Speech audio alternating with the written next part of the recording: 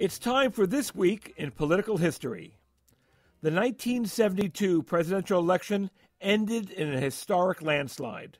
Richard Nixon won 49 out of 50 states over his Democratic opponent, George McGovern. But things weren't so clear when it started off. Ed Muskie, the senator from Maine and the Democratic nominee for VP in 1968, was considered the frontrunner, but that didn't stop others from trying. In addition to Muskie and McGovern, there was, among others, Hubert Humphrey, who narrowly lost to Nixon in 68, Scoop Jackson, the hawkish senator from Washington, and George Wallace, the Alabama governor, who ran as a third party candidate four years earlier and carried five states. This time, Wallace was running for the Democratic nomination. Nobody gave Wallace much of a chance of winning the nomination. His 1968 effort echoed segregationist themes that he had used in his earlier Alabama campaigns. Yes, he had softened his rhetoric in 1972, but critics said he was just talking in code. He spoke a lot about average folks. He called for lower taxes. He wanted to keep the streets safe. He also made his opposition to busing children to achieve racial balance in schools a key issue in his campaign. This matter that they've come up with of busing little children to achieve racial balance is the most asinine, atrocious, callous thing I've ever heard of in the United States. What the party establishment didn't like was the fact that Wallace started winning. He easily took the Florida primary, where Muskie finished fourth and began his quick descent, and won big in Tennessee and North Carolina as well. Next on the calendar were two states out of the South Maryland and Michigan, both on May 16th. Polls indicated Wallace could do very well in both, if not win them. Then came the unthinkable. It was on May 15th as Wallace campaigned in Laurel, Maryland.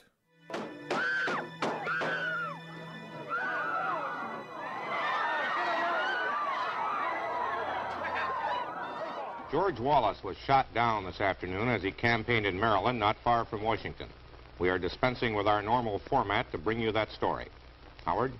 At last report, Governor Wallace's condition was described as critical but stable at Holy Cross Hospital in Silver Spring, Maryland, just outside Washington. Police were reported holding one suspect in the shooting. He was described by an eyewitness as a blond youth in his 20s or early 30s. The 52-year-old Wallace had just finished talking to a crowd at a shopping center in Laurel, Maryland, and had stepped from behind a bulletproof podium when the shots rang out. The assassination attempt took place 43 years ago this week. The shooting left Wallace paralyzed from the waist down. For the rest of his life, through 10 more years as governor and until his death in 1998, he was in a wheelchair. His son, George Wallace Jr., went on to a political career of his own. He served two terms as state treasurer of Alabama and two more on the State Public Service Commission. George Wallace, welcome to the program. Well, Ken, thank you. It's good to be with you. And uh, listening to the uh, some of those things really took me back in time. Really did. You wrote a book entitled Governor George Wallace, the Man You Never Knew. What don't we know about George Wallace? Well, there there are several things I tried to talk about in in the book. I tried to talk about him and write about him in a very introspective way and in a comprehensive way. Uh, I, I realized more than than most that my father's is defined by a couple of images: segregation forever and schoolhouse door, and uh, those were certainly part of uh, his journey, but it was not the total journey. At one time in his life, he did support segregation, and he told me over over the years, as he told John Kennedy Jr. and others, that uh, he was raised in an era, having been born in 1919, almost 100 years ago, that with the belief, and he was taught that segregation was in the best interest of both races. That's what people generally of the South believed. It was not accepted with ill will or ill feeling or malice. It's just a sense they had that it was in the best interest of both races, and that anything other than that could bring about adverse relations. But he believed that until time passed and his conscience told him he was wrong about that, at which time he went to Dr. King's church and told the congregation he'd been wrong and asked for their forgiveness. he was so charismatic, Ken, and dynamic and defiant in terms of the federal government and the battle between the sovereignty of the states and the federal government and the Tenth Amendment Reserve Clause. You know all those things. Many people took it as uh, ill feeling toward black people, and it was never that. He did believe in segregation at one time, but that's concerned me. Another thing. Uh, the violence at the Edmund Pettus Bridge. Many people don't realize this, and I was on Larry King Live several years ago with Jesse Jackson and Mike Wallace, and when Mike was still with us, and was able to talk about the fact that his orders at the Edmund Pettus Bridge were disobeyed. The last thing he wanted was violence, and it had been decided that the marchers cross the bridge, allow them to march. He would contact President Johnson, determine how to protect the marchers, because unbeknownst to many people, there were rumors about groups such as the Minutemen and others who planned to have snipers along Highway 80 from Selma to Montgomery, and uh, that concerned my father deeply. So when he got the the word in his office, is written by Bob Ingram, who was with the Montgomery Advertiser at the time. Uh, when he heard learned of the violence, he said he wrote that he'd never seen a man as enraged in his life as he saw my father when he learned what happened at the bridge. So that bothered him until the day he died, and he called John Lewis on several occasions, and I know John Lewis, and he related to him that his orders were disobeyed. The last thing he wanted was violence. Became very emotional, John Lewis says, as he talked about it. So my father was a good and decent man who was on the wrong side of uh, an issue early on, but got things right and worked to bring about nurture our common humanity. And I think that's a great lesson for us all.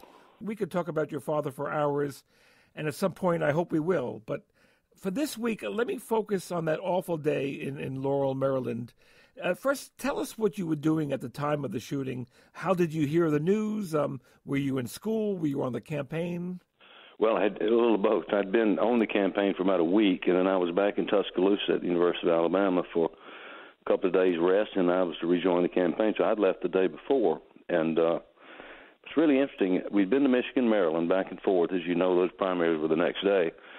And I had a very vivid dream that he had been shot. And actually, I dreamed he was shot in the throat, had been shot in the throat, and died from that. And actually, Nick Zarvos, a Secret Service agent, was shot in the throat.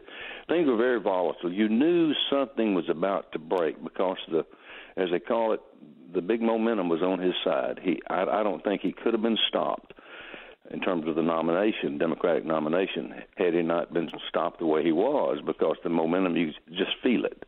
And I think he always thought. He told me later. He said, "I I realized how volatile I was and controversial." And he said, "I really thought '68 was the year I would be shot."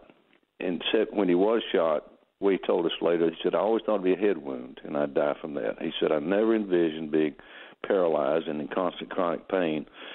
In that way. But uh, he didn't intend to work the crowd that day. Uh, he came down. The Secret Service was about to usher him to the car. He took off his coat. And he said, "No, I'm going to shake hands. I'll take responsibility." And when he hit the ground, he told me. He said, "I." I closed my eyes for about 20 seconds, and uh, his head was to the left. And he said, "I pretended as though I was dead because I didn't know if there was a second gunman, and I wanted him to think I was dead." But uh, he uh, was able to survive the shooting, but was, of course, paralyzed the rest of his life. Your dad was attracting huge crowds during the campaign, uh, but there were widespread protests at many of the events as well, with people trying to shout him down. Did you ever witness any of that? And what was your reaction to that? Oh, I did. I witnessed a lot of it in Michigan at different places. You'd have a huge crowd of 10,000 people, but you'd have two or three hundred down front shouting trying to shout uh, him down, and he would go back and forth with the protesters, and that was uh, vintage George Wallace. He was so good at it, but uh, I do remember I play music and still do, and was playing some for the campaign. When I was playing, they would be, I'd be looking at these young people my age. 18, 19, and I think, you know, we probably have so much in common, but we're so far apart in so many ways, too. But um, it was oftentimes so volatile at these rallies that had my dad not uh, spoken to his supporters about restraining themselves, I think they would many of them would have turned on the protesters. Actually, did your father ever talk about possible fear or apprehension about his personal safety?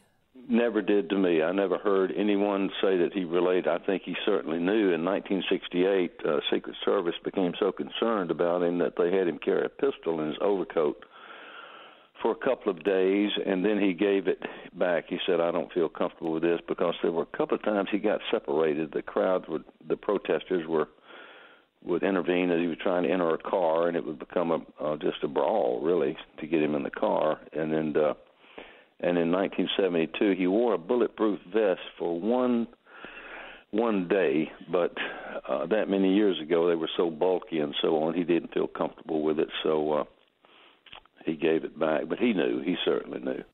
He also uh, often spoke behind a uh, bulletproof uh, podium, right? He did, uh, but when he moved from behind it, it was uh, you know he was certainly vulnerable, and, and he loved to shake hands. My father was truly alive when he was campaigning. He, he served well and enjoyed serving and did a lot of good things for our state, I believe, uh, as, as the record shows. But he loved the campaigning. I, I've often thought as other candidates became weary and tired, he gained energy. He just loved it, and uh, I've never seen another one like him. You're pretty critical of President Nixon in your book. Uh, you note that there were people around him who would do anything to see him get reelected, and, and we've, we've learned that, of course. But then in the next breath, you wonder who may have financed Arthur Bremer's, he's a would be assassin, who financed Arthur Bremer's lavish lifestyle and his travels around the country.